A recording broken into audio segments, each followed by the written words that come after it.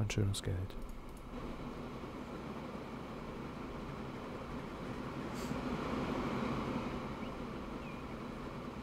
Ich finde die Sounds echt unfassbar gelungen in diesem Spiel. Ich möchte fast sagen, noch mehr als die Grafik, weil man merkt halt wirklich, wenn zwei Züge aneinander vorbeifahren, klingt das echt. Wenn, wenn später Hochgeschwindigkeitszüge fahren, klingt das auch echt. Auch wenn die in den Tunnel einfahren oder so. Das, das klingt schon alles wirklich sehr realistisch. Muss man sagen. So. Aha. Jetzt hat er mir gerade Geld abgezogen. Wenn der Zug hier ankommt, bei unserem tollen Sägewerk in Ichon, ich weiß nicht mehr, ob es richtig war, ähm, dann sollten wir eine Million Dollar haben und schuldenfrei sein. Ganz toll. Komm, jetzt zieh mir bitte kein Geld ab. Lass mich bitte die eine Million kriegen. Uh. Es scheitert an 58.000 Dollar. Ich würde dann halt hier ein, ein zweites Gleis bauen. Wobei es dann ja auch schon eng wird. Mist. Oder ich verlege hier noch ein Gleis, verbinde das damit und dann verbinde ich diesen, dieses Gleis dann damit. Weil hier wird das sonst zu eng. Weil wenn ich hier jetzt noch ein Gleis ziehe, muss ich auch nochmal so eine so eine Plattform bauen. Da muss ich auf jeden Fall die Straße neu verlegen. Ich weiß nicht so. Es sollte jetzt noch platztechnisch passen, so ist es nicht. Aber es sieht dann schon ziemlich gequetscht aus. Weiß nicht, ob das so schön ist. Gut. Wir sind schuldenfrei. Das ist doch mal wirklich toll. Wir sind jetzt schlagartig vom höchst verschuldeten Mann zum, ähm, ja, noch nicht Millionär, aber zum, zum recht gut verdienenden, wohlhabenden Geschäftsmann geworden. Jetzt gilt es, noch mehr Geld zu sparen, damit ich mir einen dritten Zug kaufen kann, der dann diese Strecke befährt. Da muss natürlich noch der Bahnhof umgebaut werden. Da müssen die beiden Züge noch verlängert werden. Oh Mann, das wird teuer. Aber wie gesagt, ihr, ihr müsst das ja wenigstens nicht alles mit ansehen. Da schneide ich das ja ein bisschen raus. Äh, wir haben jetzt knapp eine Million. Ich würde die beiden, glaube ich, gerade mal kurz verlängern, um...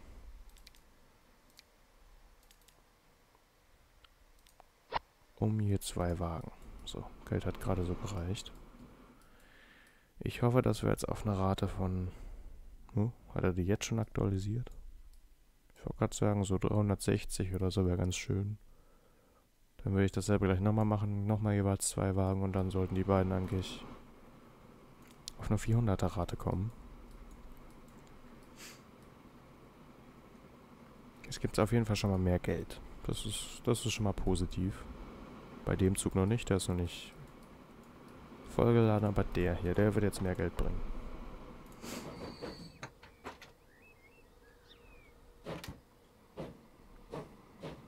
Der sieht im, im Sonnenlicht echt viel verrosteter aus als im Schatten. Im Schatten sieht man den Rost gar nicht.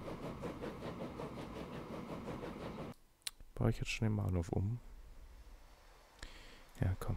Es ist, ist egal jetzt. Ich baue jetzt den Bahnhof um.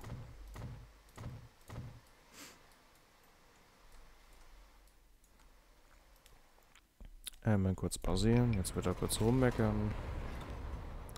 Aber das ist egal. Dann wird das damit verbunden und dann haben wir hier gleich ein schönes freies Gleis, um die Werkzeugfabrik anzusteuern. Was war da jetzt noch rum? Hallo? Hat er das ja noch nie umgestellt? So. Jetzt ist alles gut. Ach ja. Ganz toll. Wirklich großartig. Ich gebe zu, der Anfang ist tatsächlich echt immer ein bisschen, naja, nicht langweilig, aber monoton. Aber das wird später ganz anders. Ich prognostiziere euch, ich weiß nicht, wie viele Folgen ich jetzt hier rausmache. Habe jetzt knapp eine Stunde aufgenommen. Ich schätze mal, das hier wird jetzt so aha, grob das Ende der ersten Folge, vielleicht Anfang der zweiten Folge sein. Ich weiß es noch nicht. Aber ich, ich sage jetzt mal ganz gewagt, in der nächsten oder übernächsten Folge sind die Geldsorgen schon weg. Und dann ähm, ja, kann man eigentlich das machen, was man möchte. Beziehungsweise das, was gewinnbringend ist mit den Mitteln, die man hat. Klar, ich kann jetzt ähm, schlecht die Stadt mit einem Passagier... Oh, Passagierzug. Meine Fresse, was ist heute los? Das ist schlimm. Ich schäme mich dafür schlecht einen Passagierzug von hier unten nach da oben fahren lassen. Mit meinen 55 km/h Loks, die keinen Berg hochkommen. Das würde vermutlich nur Minus machen. Ich finde diesen, diesen See hier in der Mitte so schön. Also an sich nervt der, weil... Gut, hier kann man eine Brücke drüber bauen, aber das sieht, glaube ich, auch nicht so schön aus. Aber an sich ist der sehr schön. Nur halt unpraktisch.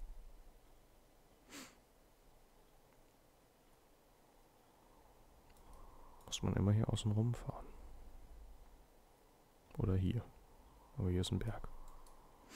Gut, ich gucke mir jetzt mal die schöne Stadt an, die wir hier gleich bewirtschaften wollen. Und wir können ja auch, das ist nämlich nicht teuer, hier schon mal für ein bisschen, ja, erstmal muss ich das natürlich bauen, für ein bisschen ähm, ÖPNV sorgen. Ich fahre am Anfang immer gerne so eine schöne 8, weil eigentlich hat jede Stadt erstmal eine tolle 8. Die kann man dann abfahren. Dann sind alle Menschen erstmal glücklich für den Anfang. Es fahren ja bislang eh nur Pferdekutschen. Jetzt hat die Frage, lassen wir eine, eine Tram fahren oder eine, einen Bus. Also beides in Anführungszeichen, weil beides sind Kutschen. Die eine Kutsche ist in der Schiene, die andere nicht. An sich ist eine Tram natürlich cooler. Ich glaube, ich mache eine Tram. Komm. So. Gut, erste Haltestelle hier hin zu den Gewerbegebieten. Zweite Haltestelle hier hin. Die dritte hier. Die vierte da. Dann ein ähm, tolles Tramdepot. Das ja, passt das noch hier hin. Habe ich sonst irgendwo Platz hier in der Nacht? Ich möchte halt möglichst jetzt keine Häuser abreißen. Das ist am Anfang ein bisschen verschwenderisch. Ist jetzt zwar nicht so teuer, aber man muss es ja nicht gleich. So. sollte doch eigentlich hier auch passen.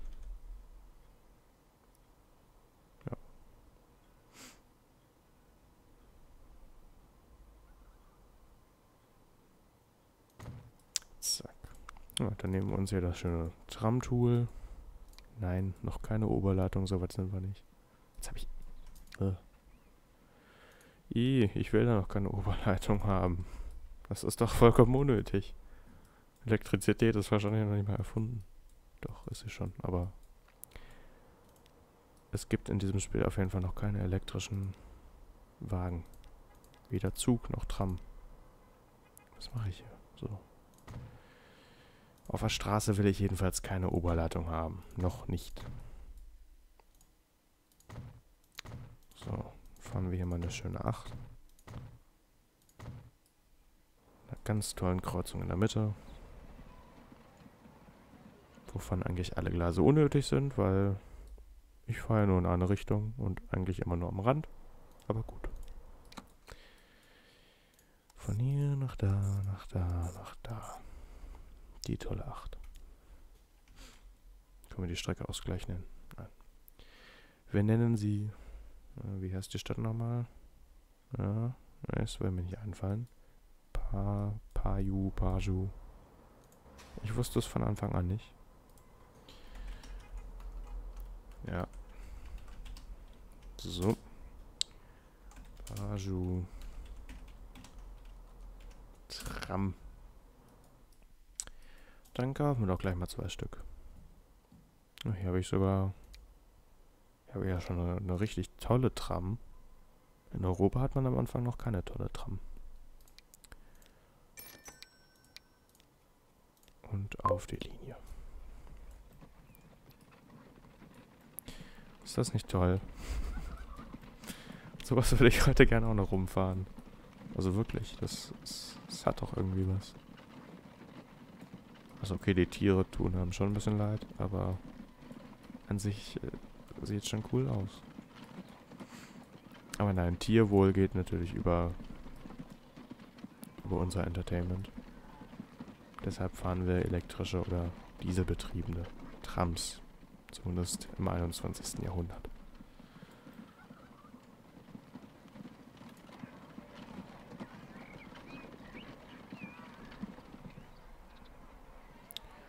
Ja.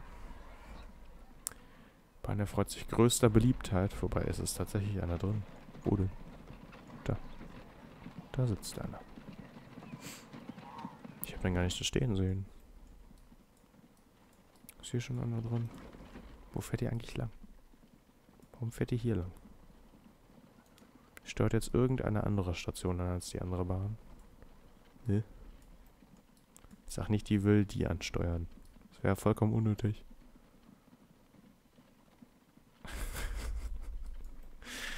die KI ist manchmal einfach ein bisschen nervig. Dann muss er die... Ja, wir fahren doch jetzt eh beide. Die sind beide jetzt direkt hintereinander. Nur dafür fährt die die ganze Zeit leer rum. Verschwendung. Einfach eine Verschwendung. So, ich habe schon 3,4 Millionen Dollar mittlerweile. Es wird Zeit, schon mal die Strecke zu erbauen. Und in ein paar Minuten müsste ich genug Geld haben, auch einen neuen Zug zu besorgen, der hier schön hin und her pendeln kann. Hm. Ach komm. Ich pausiere das kurz, reiße die Straße weg.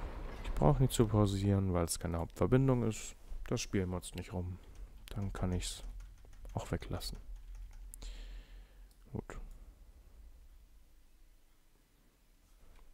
Ich möchte es ganz, ganz toll parallel haben. Dann bauen wir das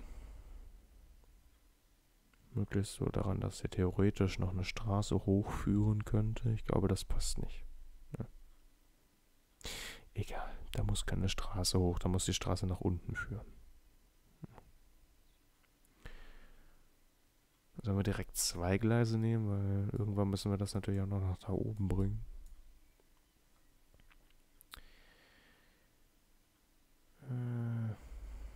Weiß es nicht.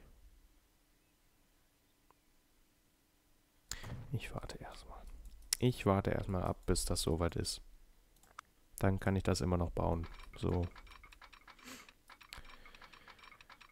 Äh, so. Möglichst ohne viel hässliche gelbe. Ja, sagte er und dann kam das dabei rum. Eine einzige gelbe, braune, was auch immer Hässlicher Damm. Ich will keinen Damm. Aber ich will auch keine, keine Erhöhung und Vertiefung. So wie die, wäre die Bahn natürlich exakt gerade, ne? Die wäre halt schon extrem gerade jetzt. Aber auch, oh, je, je, je, ganz schön teuer. Scheiße. Ich hab schon viel, wir sind, wir sind im Jahr 77. Wir spielen seit sieben Jahren. Und wir haben schon irgendwie, keine Ahnung, fünf oder sechs verschiedene Züge. In Europa hat man jetzt gerade mal, glaube ich, gerade den dritten freigeschaltet. Also da geht es hier in Asien auf jeden Fall mehr ab, was die Produktion angeht. Was ich sagen wollte, ist, dass die Züge irgendwie alle russisch sind. Ich verbinde Russland jetzt nicht unbedingt mit Asien. Auch wenn es geografisch natürlich größtenteils in Asien liegt. Aber Russland ist für mich eher so der, der westliche Teil Russlands. Und der ist halt eher europäisch. Gut, das kann man so akzeptieren. War auf jeden Fall teurer, billiger als die 400.000 Dollar Kostenvoranschlag, die wir vorhin hatten. Aber dafür geht es vermutlich... Oh, das geht ordentlich hoch hier. Ich hoffe, das schafft der Zug. Aber wir haben jetzt ganz tolle neue Züge, die sollten ja mittlerweile schon ordentlich PS haben. Jetzt ist natürlich die Sache mit dem Zugdepot, ne? Ich würde sagen, das reiße ich ab. Und ich baue hier hinten ein neues und dann ziehe ich das an beide Gleise dran. Dann habe ich ein Zugdepot für beide. Für beide Seiten. Moment. Schön parallel. Ich würde das vielleicht nicht so... Wobei hier, hier kommt keine andere... Hier ist ja nichts. Hier brauche ich ja nicht mehr Gleise. Das macht gar keinen Sinn. Ich kann das schon nah dran bauen. Sofern das jetzt... Äh, hässlicher Höhenunterschied, ne? Komm, die Dinger sind nicht teuer. Ich möchte ja nicht alles immer umformen müssen. Oder später neu bauen. Kommt es halt ein bisschen daneben.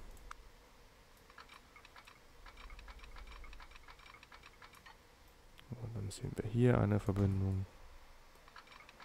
Und dann ziehen wir hier eine Verbindung.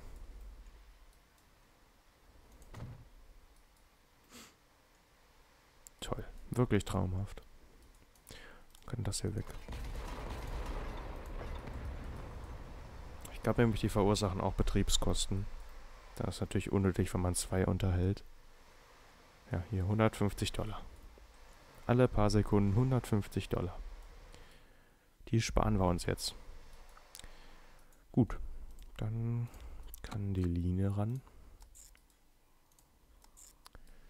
Hat er direkt am richtigen Terminal verbunden. Gut, geht auch nicht anders, weil hier ist keine Verbindung, aber habe ich natürlich wieder gut mitgedacht. Ich möchte hier auch, dass er sich voll lädt. Wir fahren hier auch nur meinen Zugbetrieb. Hm, dann ähm, Sägewerk.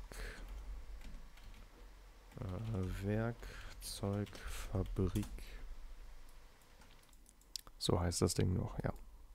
4 Millionen Dollar sollten eigentlich erstmal reichen, um einen schönen Zug zu kaufen. Jetzt ist die Frage, welchen nehme ich. Der hier hätte natürlich krass viel F FPS, ja. PS. Aber ich glaube, das ist überhaupt nicht nötig. Das ist... So kostet er natürlich deutlich mehr. Also das...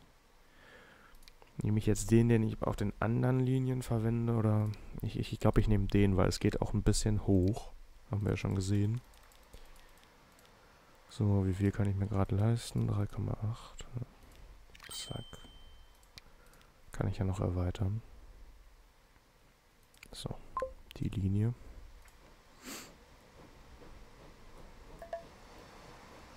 Eine Station ist überlastet. Welche Station ist denn überlastet? Das kann ja eigentlich nur die sein.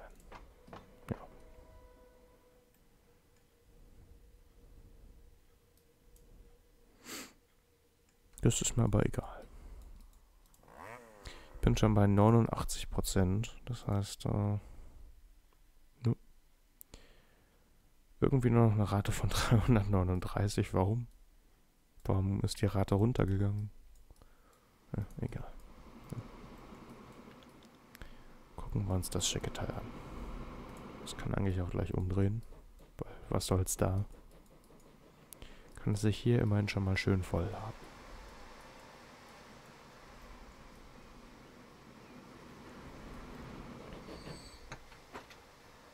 Zug ist nicht so rostig. Der wurde, der wurde besser produziert, würde ich sagen.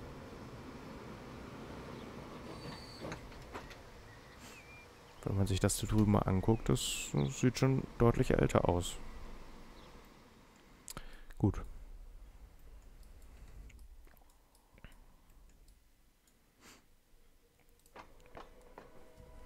Aber wie passt denn bitte die Rate von 339 oder was es gerade war. Ja. Wie passt das mit diesen 89% zusammen? Ist mir irgendwie, irgendwie schleierhaft. Aber vielleicht liegt es auch daran, dass der Bahnhof tatsächlich überlastet ist. Ich weiß ja nicht. Wir können ihn theoretisch gerade ein bisschen erweitern. Ja. 20.000, 20.000, 18.000 sogar nur. 19. Ja. Hier oben noch einer dran. Jetzt sollte er nicht mehr überlastet sein. Ich möchte nicht, dass wir unnötig irgendwo Verlust machen.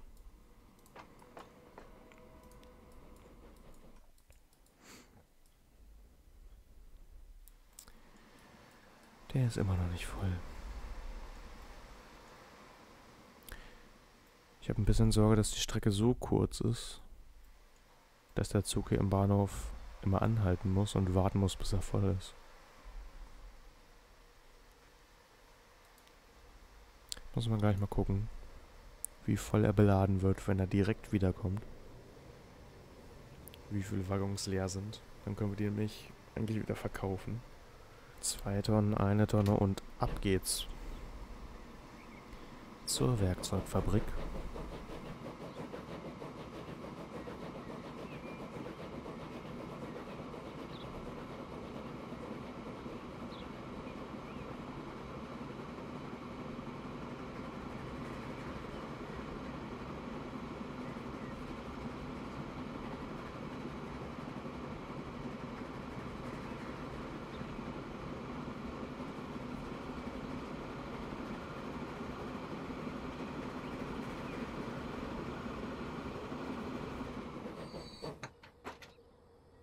Ich habe Angst, dass meine Festplatte voll läuft. Die ist nicht mehr so voll. Nicht mehr so leer. Ich hab's aber auch. Ja, Red Dead Redemption 2 und Transport Fever haben sich, also vor allem Red Dead Redemption 2, haben sich ganz schön breit gemacht auf meiner Festplatte.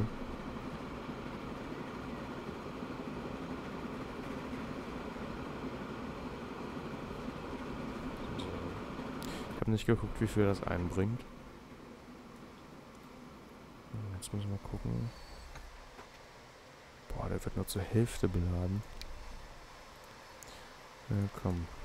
Also zwei Anhänger haue ich auf jeden Fall wieder weg. Wir müssen auch bedenken, die Rate ist ja hier noch nicht bei 100%.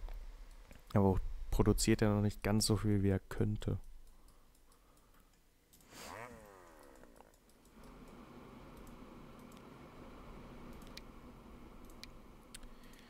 Wir könnten die natürlich jetzt beide nochmal zwei verlängern, aber ja, das habe ich schon befürchtet. Dann müssen jetzt hier auch neue Züge her. Ich kann das nicht ändern.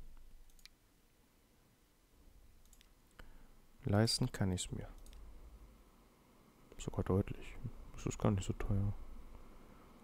Wie sieht es denn mit denen aus? Die Kosten sollte ich mir auch leisten können.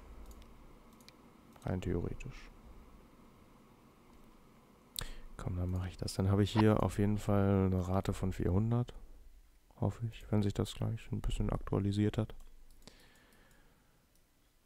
Die fahren jetzt auf jeden Fall schneller, beschleunigen besser, bleiben hier hoffentlich auch nicht mehr stecken oder werden langsamer und können natürlich mehr transportieren.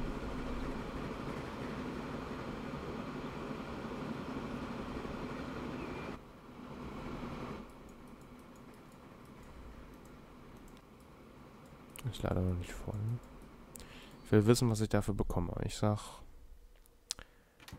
1,4 Millionen. Das ist jetzt meine Schätzung.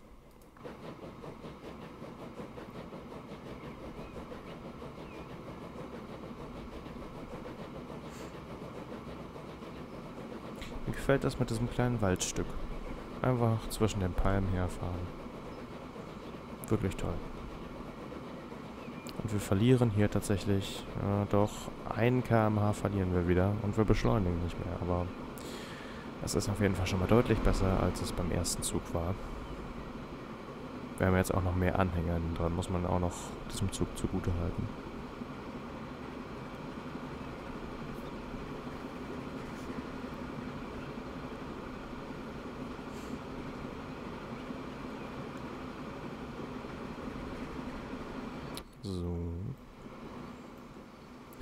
ziemlich gut geschätzt. Hm. Das ist jetzt aber wenig, möchte ich sagen. Wir haben bei beiden Zügen vier Waggons mehr als zum Anfang. Und nur 200.000 mehr. Ich bin gerade zu faul, das äh, hochzurechnen, ob das richtig ist. Ich habe mich auf jeden Fall verschätzt. So. Man kann es nicht ändern. Hm. Wie sieht es eigentlich hier in äh, Paju, Paju? Ich weiß es nicht. Ich werde es ich werd es auch noch googeln, wie man es ausspricht. Drei von sieben. Sechs von sieben, ja. Das ist okay. Die sitzen. die sitzen sogar oben drauf. Wie geil ist das denn? Aber warum? Also, jetzt mal rein theoretisch betrachtet, ja. Hier passen sieben Leute rein. Ja.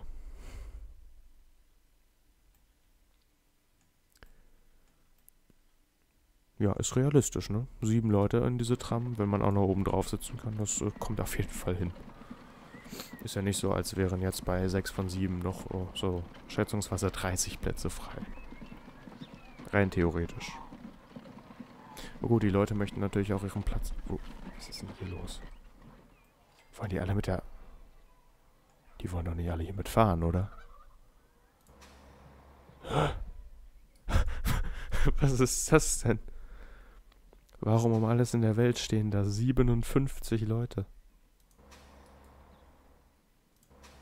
Ich brauche ich brauch auf jeden Fall noch, noch zwei Trams. Na, nicht. Ich wollte nur zwei. Jetzt habe ich einer zu viel. Aber was soll's.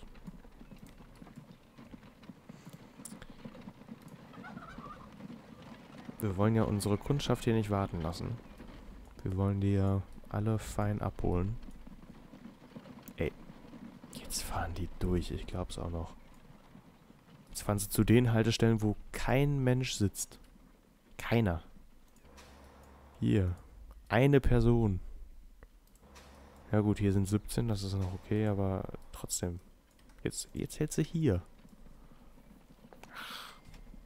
Unnötig. Richtig unnötig. Die hätten alle hier halten müssen. Hier, wo 58 Leute, potenzielle Passagiere warten.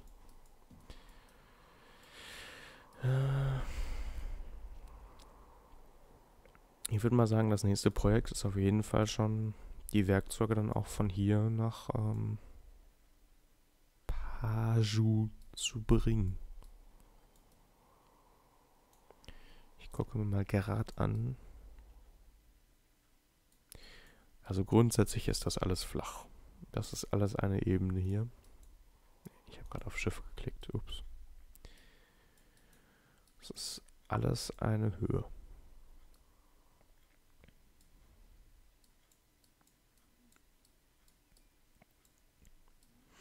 Wenn ich ehrlich bin, sehe ich nicht mal eine, eine Höhenlinie von zwei Metern.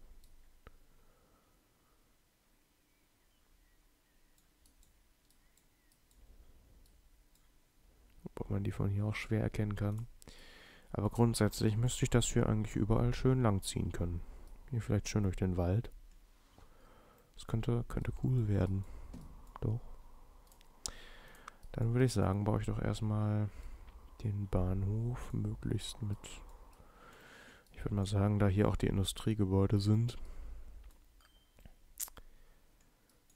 Ja, ich glaube, es, es macht eigentlich Sinn.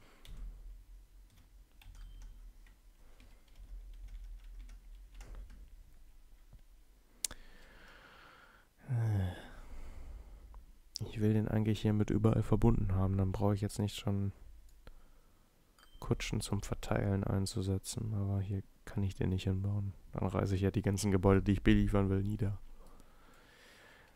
Ja, gut. Dann kommt hier jetzt der Cargobahnhof hin. Kann ich ihn jetzt auch gleich nach unten setzen.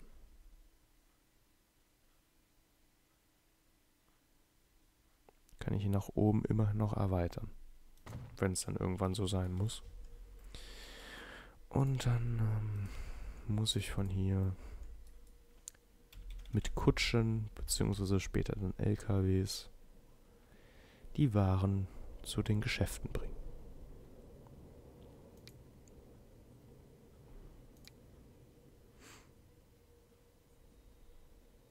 Zack. Ach, warum ist das denn jetzt hier so hässlich? Warum geht das hier so hoch? Das ist dort. Kann das nicht mal auf einer Höhe gebaut werden? Ist das so schwer? Gut. Womit ist der Bahnhof? Oh Gott, versorgt ja echt gar nichts. Diese fünf Häuser hier. Das hier muss ich jetzt alles noch manuell beliefern. Ach ja. Mal so ein Aufwand. So, dann kommt... Kommt hier die Station für die Werkzeuge. Ja, für die, für die Steine brauche ich die ja noch gar nicht. Ich habe ja noch gar keine Steine in Produktion. Reicht ja erstmal auch eine Linie. Ich war gerade schon, ich habe schon zu weit gedacht. Ich war schon dabei, die auch alle anzubinden, aber die brauchen ja Steine. Gut, von da nach da.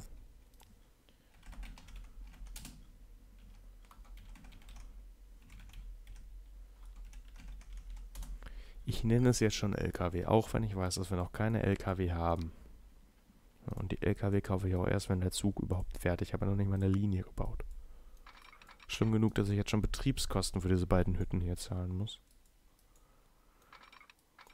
Ich gucke erstmal. Hm. Ja, nee, einen Tunnel wollte ich jetzt eigentlich noch nicht. Erst recht nicht hier, weil hier so ein schöner Wald ist. Nein, nein, nein, das mache ich nicht. das so. Hier einmal schick durch den Wald. Kommen wir hier wieder raus. Dann fahren wir hier eine Kurve vor dem Berg entlang. Boah, das ist super schön flach hier. Das ist echt traumhaft. Können sogar mit 120 km/h überall durchbrettern. Komplette Linie entlang. Das wird eine tolle Linie. So. Hier wollte ich auch schon direkt mit zwei Zügen fahren eigentlich. Wobei ich nicht weiß. Produziert er hier kaum was. Ich glaube, das lohnt sich nicht. Später, wenn das geupgradet ist, dann braucht man hier wahrscheinlich zwei Züge. Wobei, bis das geupgradet ist, haben wir elektronische Super-Cargo-Züge. Die können wir dann so lang machen, dass hier auf der ganzen Karte ein einziger Zug reichen würde, aber... Nein, komm. Das reicht so. Aber das äh, war jetzt natürlich nicht intelligent gedacht. Denn äh, ich möchte das natürlich auf zwei separaten Gleisen haben. Zwecks blockieren. Beziehungsweise eben, weil sie sich nicht blockieren sollen. Aber im Prinzip brauche ich die Verbindung hier eh, weil die Züge müssen ja auch irgendwo vom Depot auf die Linie kommen. Und jetzt muss ich auch glatt den Moment abpassen, wo der Zug hier steht, damit der Zug von hier auch aus losfahren kann. Ich nehme.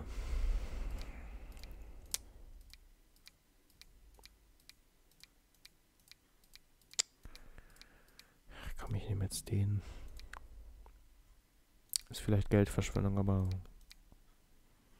mein Gott, eine Investition in die Zukunft. Gut, Werkzeuge. Ich ja, benehme erstmal 56 Kapazität. Ich habe noch nicht mal eine Linie erstellt. Fällt mir gerade auf.